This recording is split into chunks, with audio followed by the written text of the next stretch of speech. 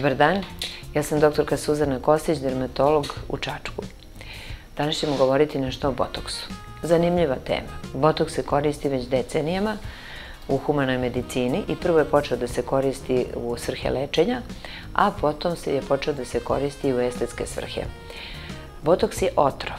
To je otrov koji proizvodi jedna bakterija, to je botulinski toksin tipa A. Izuzetno moćan, izuzetno jak otrov.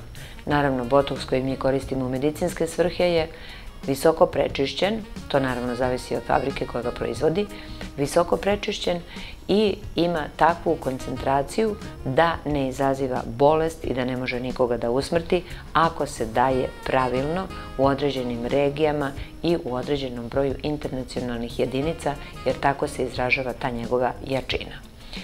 Botoks se ne koristi samo za uh, lečenje, ne lečenje, nego uklanjanje bora, nego se koristi recimo kod osoba koje imaju migrene.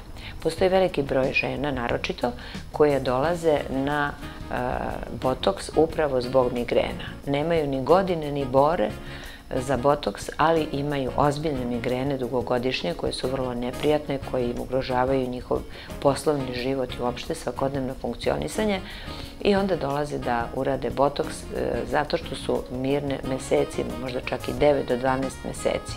Upravo onoliko dugo koliko traje efekat botoksa. Ono što je vrlo bitno reći jeste da e, botoks mogu da rade samo doktori koji su specijalno edukovani za tu metodu. E, kao i sve ostalo što se radi, za sve postoje neka neželjena dejstva, postoje indikacije i postoje kontraindikacije. A to znaju oni ljudi koji su obučeni i koji znaju kako će da se nose sa nekim eventualnim e, posledicama. Dakle, doktori medicine i stomatologije po našem srpskom zakonu. E, nedavno je bila jedna velika priča oko toga šta se događalo osobama koje su išle na neke procedure kod nestručnih osoba, E, to uvek treba imati na umu. Nije sramota pitati šta ste vi završili, gde ste studirali, e, koje ste specijalnosti, jel mogu da pogledam vašu diplomu. Nije to sramota pitati, ja lično smatram da to pacijent uvek mora prvo da pita i ono što je još bitno to je e, sa kojim botoksom radite. Da li se to regularno uvozi u našoj državi? Zašto je to važno? Zato što ako se regularno uvozi, onda je prošlo srpski atest.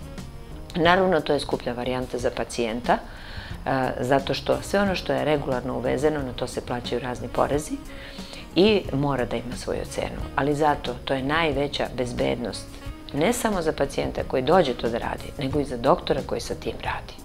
Nikome ne bi bilo prijatno da se, ne daj Bože, nešto loše dogodi pacijentu. Zato savetujem da se uvek radi samo sa preparatima koji se regularno uvoze kod nas. A ako će vam biti još lakše i milije i oni ljudi koji se bave uvozom i oni treba od nečega da žive. Dakle, nemojte štediti na takvim stvarima. Kad je botoks u pitanju, sama aplikacija botoksa nije bolna. Vrlo kratko traje, ali ono što je bitno jeste na koja se mesta ubrizgava i koji je to broj internacionalnih jedinica. Doktori to znaju. Botoks uvek koristi za uh, rad na licu, odnosno na gornjoj trećini lica, za bore oko očiju, za bore između obrva koje se zovu glabelarne i za horizontalne bore na čelu.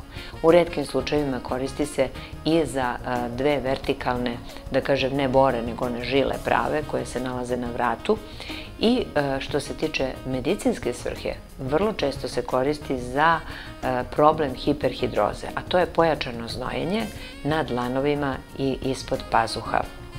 To su regije na kojima se najčešće javlja pojačano znojenje i koje može da bude vrlo, vrlo neprijatno za pacijente kojima je neprijatno da se rukuju sa ljudima jer su im stalno ruke vlažne, odnosno dlanovi, ili e, moraju da biraju specijalnu odeću kroz koju neće da probije znoj ili ako probije znoj da se mnogo ne vidi, da usklade boju i tome slično. Da ne pričamo i o mirisu, to su ljudi koji se kupaju, to su ljudi koji mnogo vode računa o higijeni, ali prosto takav im je znoj pa se osjeća taj neprijatni miris. Dakle, i u te svrhe se koristi i tako ubrizgan botok za hiperhidrozu e, može da daje dobar efekat i do 9 meseci. Ponegde i do godinu dana zavisi samo koja doza botoksa je ubrizgana u te regije. Dakle, botoks je dobar, može da se primenjuje e, više puta, ali treba upamtiti da se botoks ne primenjuje kada uočite neku prvu ili plitku boru. On se primenjuje tamo zaista gde postoje indikacije. Ne treba dozvoliti da se e, bora e, toliko ureže da se dno bore previje i da tu pukne koža. Tada uvek ostaje takozvani memorijski trag, ali ne treba ni početi previše rano. E, Savetujem da se ne radi osobama mlađim od 18 godina, pa čak i od 18. do 20. 22. godine uvek zahtevati da te osobe dođu u pratnji svojih roditelja, zato što mislim da je to etički ispravno e, dete nekad, mlada osoba zapravo, e, vidi neke nepravilnosti na svom licu ili nije zadovoljna svojim izgledom, iako je u pitanju lepa osoba, zapravo svako je lep na svoj način.